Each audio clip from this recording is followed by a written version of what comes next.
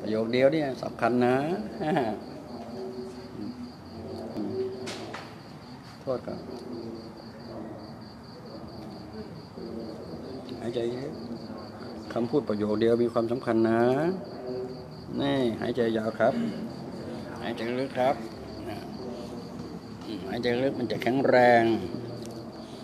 เติบโตอย่างมีคุณภาพ นี่สติปัญญาจะไปแล้วโทษครับ เอ๊บนี่ นี่ เจ็บไหมครับ ไม่ครับ โอเค ไม่เจ็บก็จะเบาหัวมากนะครับ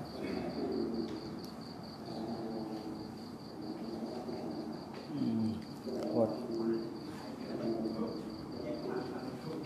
ปึ๊บน่าหายใจยาวปึ๊บ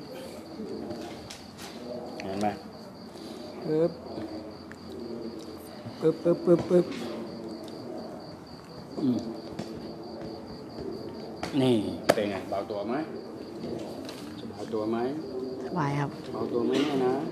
ครับ แน่ใจนะครับ แน่ครับ แน่ใจนะอ้อแน่ใจเลยนะอืมอยากสบายตัว